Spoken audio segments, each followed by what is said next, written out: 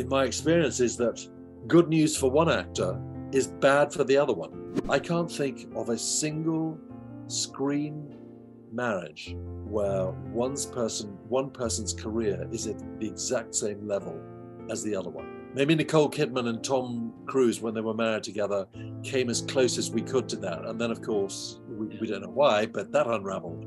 So I think that I, I can't think of any screen partnership, partner to partner, marriage of. Sure. Yes, because essentially, in my experience, is that good news for one actor is bad for the other one. Because unless you're cast to play twins or equal sized roles for equal amount of money, that just never happens.